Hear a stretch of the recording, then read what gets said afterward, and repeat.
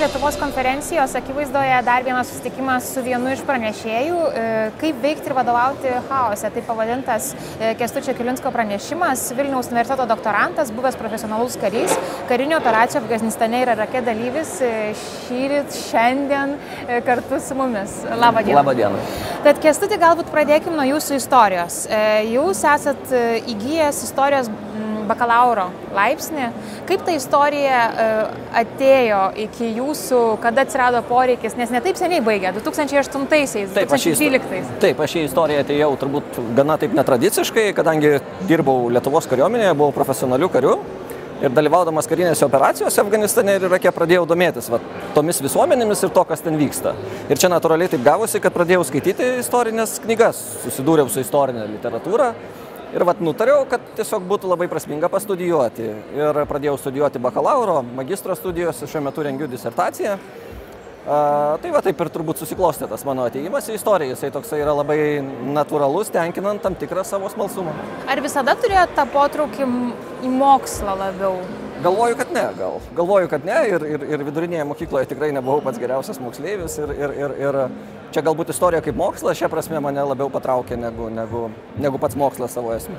Buvot ir pats tam tikrų istorinių įvykių akivaizdoje ir akistatoje. Na taip, bet čia turbūt dar reikėtų palikti patiems istorikam, kurie galės iš distancijos pažiūrėti į va, tos procesus, e, kurie vyksta artimuosiuose rytuose ar, ar, ar centrinėje Azijoje.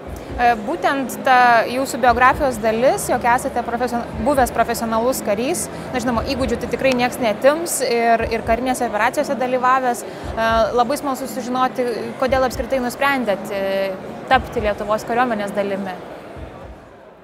Oi, nežinau. O čia toks vėlgi buvo tam tikras gal kažkiek ir jaunatviškas pasirinkimas. Buvau vaikystėje buvau gana aktyvus e, skautas, šaulys. Na ir gavęs kvietimą pradėjau tarnauti kariuomenėje, tiesiog buvau pašauktas į ją. Na ir kada baigiau savo karinę tarnybą, prasidėjo karinės operacijos Afganistane ir Irake ir aš kažkaip natūraliai susidomėjau ir įsitraukiau. Baimės elementas jis yra, jis lydi e, Taip, jaudulio? baimės elementas čia galbūt reikėtų sakyti tam tikro nerimo, nes pats karas iš savęs kaip po reiškinys, tai pirmiausia yra tokia chaoso, nežinomybės, netikrumo būsena, kuri ir kelia tam tikrą vat, e, psichologinį nerimą jo visiems dalyviams ar, ar būnantiems tenai e, aplinkui. Būtent jūsų ir pranešime yra tas pats chaosas ir kaip veikti ir vadovauti chaose. Ko jūs išmokė buvimas na, chaose, karinėme chaose? Pirmiausia, tai išmokė niekada nepasiduoti ir stengtis mąstyti kuo šaltesnių protų. Tai man atrodo yra pats svarbiausias dalykas, vat, siekiant efektyviai dirbti toje situacijoje. Tai turbūt aš tų dalykus akcentuočiau. Aha, o kokiame chaose mes šiandien esam? Jūs pastebit, jūs bendraujat su įvairiausių įmonių atstovais, taip pat skaitote tam tikrus pranešimus. E, apie kokius chaosus, na, kiek kitokius mes kalbam? Nu, man atrodo, čia reikėtų galbūt pačio verslo žmonių klausti, jie geriau tą pasakytų.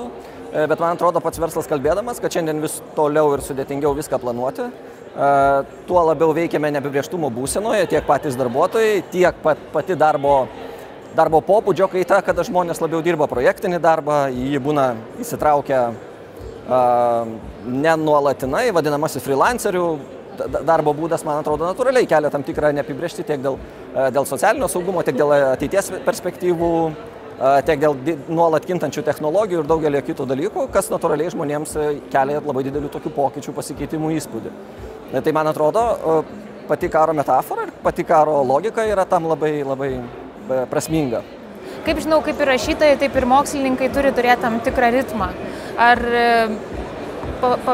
pavadinkim, jūsų e, patirtis kariuomenėje sustigavo jūsų darbo tvarkę ir jūs, pavyzdžiui, lengviau negu kiti galite susidėlioti prioritetus ir skirti tam konkretų savo dienos laiką? Na, aš nežinau, galbūt kariuomenė ką duoda, tai tokia tam tikra disciplina, kad tu tiesiog imi ir darai, ir padarai. Ir šia prasme, man atrodo, kad tai neprieštarauja kūrybiniam darbui, kaip dažnai yra įsivaizduojama, kad jeigu kūrybininkas, tai jisai būtinai turėtų būti koks nors, na, nenoriu sakyti bohemo žmogus, bet, bet aišku visokių žmonių yra, kiek yra. Visi turi tam tikrus savo metodus, kurie semėsi idėjų, inspiracijos. Nu, man atrodo, kad toks svarbiausias dalykas ir neprieštaraujantis, tai greta to yra ir tam tikra disciplina. E, sako, kad, pavyzdžiui, kariuomenė arba būti šauktiniu ir, ir tai yra privalumas, nes tu išmoksti, tu, tu tampi kažkoks labiau organizuotas, tai vyriškumo mokykla. Bet man čia kaip moteriai kyla klausimas, o tai nėra šiaip na, mokykla, dar viena mokykla, kad ir moteris turėtų ten įsitraukti labiau, kaip pavyzdžiui, kokiam Izraelį. Tai, ką jūs klausėte, tai yra daug tokia platesnė problema. Visų pirma, kariuomenė kaip vyriškumo mokykla, tai čia yra toks pakankamai senas stereotipas. Ir šiandien dienai, kada mes kalbame apie visišką lyčių lygybę, tiksliau ne šiandien dienai, apie moterų tarnybą kariuomenėje buvo pradėta kalbėti 1922 metais varstant Lietuvų konstituciją, kuomet karo tarnyba buvo, buvo galvojama į, į konstituciją tiesiog įtraukti, kad vyrai turėtų atlikti tą karo tarnybą, bet kilo didžiulė diskusija, kad tą turėtų daryti ir moteris. Būtent dėl to buvo pasirinkta, kad niekas neturi. Tai šiandien dienai, man atrodo, nereikėtų skirstyti į, vyrus ir moteris, man atrodo, čia turėtų labiau piliečio pareiga vaidinti didesnę rolę. Ir moterų dažnai klausia, vad, kodėl tu pasirinkai būti karininkė arba savanorystę pasirinkai, kam Nereik... tau tai? Jo, čia, ne, ne, man atrodo, visiškai tu nereikėtų stebėtis. Ir, ir tai labiau, man atrodo, pats stebėjimas jis daugiau pasako apie pačią visuomenę, kodėl jinai stebėsi. Ar vis stereotipiška? Jo, ar jinai stereotipiška, ar, ar, ar ne, ar vis dar esame linkę taip galvoti? Ar... Jūsų nuomonė, e, Lietuvai reikia daugiau savanorių ir tų šauktinių, ar vis dėlto profesionalioji kariuomenė būtų tas saugumo pagrindas? Labai dažnai yra, vėlgi girdint visuomenėje kalbas, yra tiesiog e, išvedamos dirbtinės prieštaros tarp profesionaliosios ir vadinamosios savanoriškosios kariuomenės. E, tai man atrodo, efektyviausias modelis yra ir viena ir kita. Tai yra tiek profesionali kariuomenė, kuri leidžia greitai reaguoti į kažkokias tai krizės. Ir aišku, visuomenės tam tikras nusiteikimas dėl savo valstybės, tame tarpe ir karo tarnyba. Sociologai yra pasakę, kad karo tarnyba tai yra vat, tam tikras, na, kraujo susitarimas su valstybė. E, kas jums būtų jūsų maža pergalė, e, na, kurią galėtumėte užanspauduoti e, ir įsidėti į pasiektų dalykų, nežinau, lentynėlę? Nežinau, sunku pasakyti. Galbūt tai, kad e, daugiau mažiau visada dariau dalykus, kurie man patiko. Ir neklausėt kitų. nu, galbūt. galbūt. Kągi, kas dėkoju Jums šiandien, kad skiriat mums laiko ir žinoma, ačiū už pokalbį. Dėkui.